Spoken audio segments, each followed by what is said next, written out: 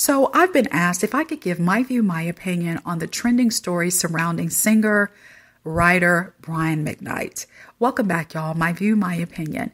Let's take a listen to the recent Instagram video where Brian was in his vehicle doing what he does at least once a week, where he takes one of his fans or followers' comments and he screenshots it up in the right hand corner and he makes a video responding to that comment. So take a listen to what he had to say. So, lastly, this week, I want to big up my man right here. See, he gets it. In order to live a life that you love, you have to get rid of the evil and the negativity, even if that evil and negativity is related. We want everyone to live a life that you love. Our hashtag, that's what it means. Hashtag I love our life. But in order to do that, you have to get rid of all that evil and negativity. There's so many angry and upset and negative people out there. We want to use our platform as a place of positivity, a positivity platform. So hopefully, I mean, who knows, next week maybe I'll only respond to positive comments. But we'll see. We'll see you next week. All right. And basically, what the fan had said was the fan agreed. He agreed with Brian's decision to kind of wash his hands of his adult children. Now, people in the public, uh, you know, square, they have taken sides. Some people are saying that he's terrible. Uh, some people are accusing him of having a new family, therefore, he's not you know, he doesn't care anything about his other children now. Uh, people are saying he's wrong. You've got people quoting Bible scriptures at Brian McKnight saying, you know, all kinds of things. And then you have people like his fan who support him and say, listen, we understand that sometimes the relationship is so fractured that you truly have to be done in order to preserve your own sanity and peace of mind. So, what do I think about this? Well, a lot of you know that because of my work experience, when it comes to these family situations, I really am cautious because when there's a whole lot you don't know, it's really difficult to really give what I like to call pure commentary, right?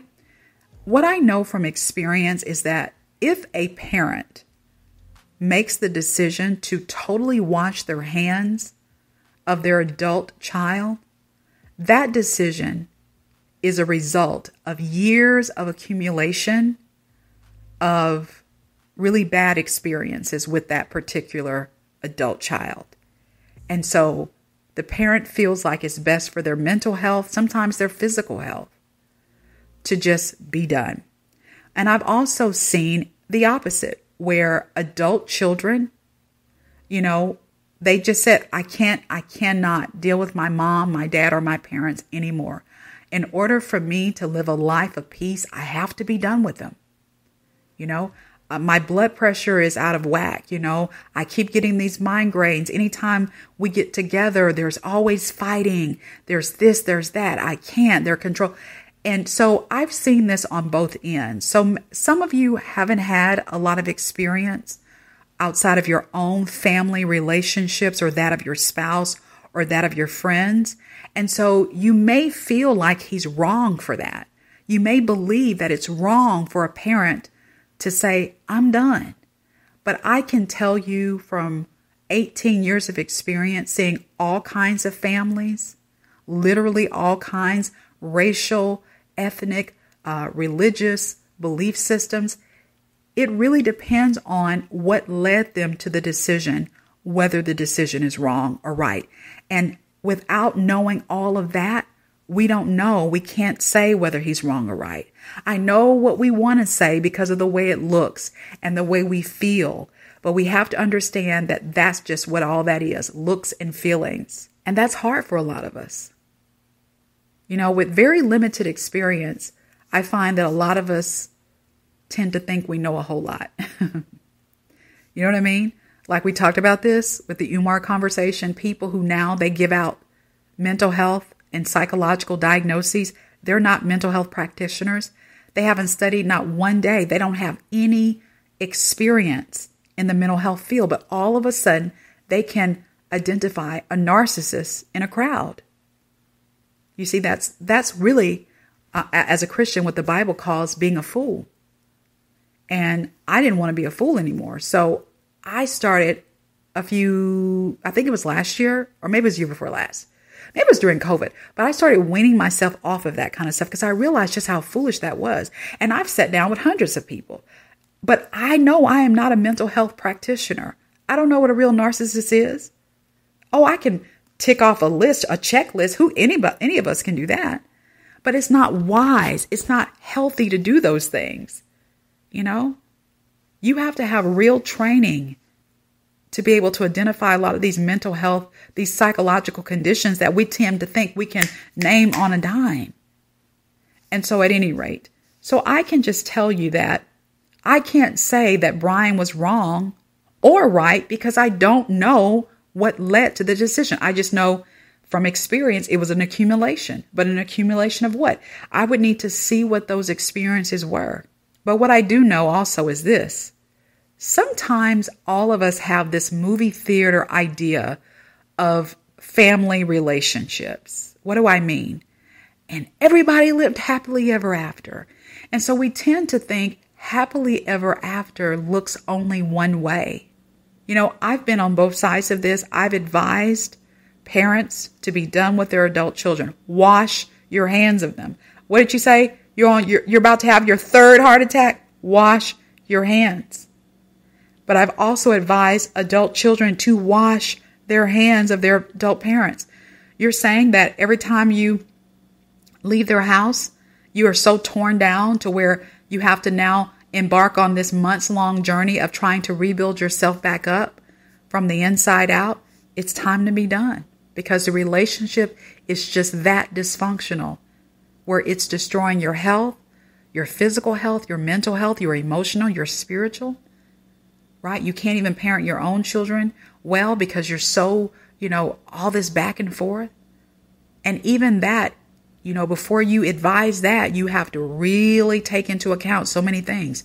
So at the end of the day, sometimes happily ever after looks like you go your way and I go my way and us never to meet again. Yes, even if we're blood relatives. But at the end of the day, I don't really know what to make of this because this has been going on publicly for a long time, which, as I said earlier, means it's been going on even longer privately. And, you know, some people will say, well, it's a sad situation. Well, it may look sad on the surface, but then again, we go back to what does happily ever after looks look like? You know, sure. I mean, all of us can say that parents and children should be able to get along, but I'm going to tell you something, like we talked about with um, sibling rivalries. What's the root of 99.9% of all sibling rivalries? It starts with mom, dad, or both. Well, what's the root of terrible relationships between adult children and a parent? It goes back to the parent and that other parent not getting along, whatever, and now the children are just carrying the torch. Because we learned from Brian himself and his children that when he when they were younger he was there for them. He provided for them. He was there for them emotionally even after he and that girl broke up. He and the wife broke up. So we can't say that he wasn't a good father to them. What we can say is that when they became adults and he began to pull back the purse strings all of a sudden well what's natural and normal the whining and the complaining started the stealing. Remember, one of them stole. I mean, the complaint, all that stuff started. Well, that's kind of what happens when you spoil a child and, and now they're an adult and they're used to being spoiled. And now you're saying, I'm not, not going to spoil you anymore. I want you to actually grow up and be an adult. Well, there's a whole lot of fit, fit throwing that happens there. So at the end of the day, a lot of us wish this weren't happening, but this actually is happening in families all around the world where now that um, people are grown, they're just not getting along. And again, I say sometimes, y'all, even though we wish it weren't so, sometimes the best thing for people's physical, spiritual, mental health is just to be done. I used to say this to parents when I had a situation where I had to advise a parent or parents to wash their hands of their adult children because more often than not, it was like affecting their health. And it's like, okay, are you going to let this kill you? Okay. All right, because eh, eh, I mean, either if you're telling me the doctor has said change the way you're relating to this person or you're going to die, well, you just got to change the way you're relating. And so, what I used to say is your love doesn't have to change, but your allegiance has to change. Your now, your allegiance is now to your own well being. When it comes to Brian McKnight, his allegiance is to his new family. And that pisses off a lot of people, especially women. Just like, but if it were reversed, her allegiance is now to her new family. Your love doesn't change for your children, but your allegiance now changes, meaning they're now first. Your new family, your new wife, your new kids, your new husband, your new kids, they're now first. Your allegiance is now to them. Your provision is now to them. Everybody else is secondary when it comes to allegiance, not love, but allegiance.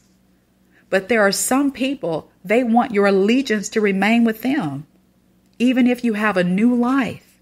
And see, it takes a whole lot of emotional maturity to understand my allegiance now has to be to what, whoever and whatever my responsibility is now.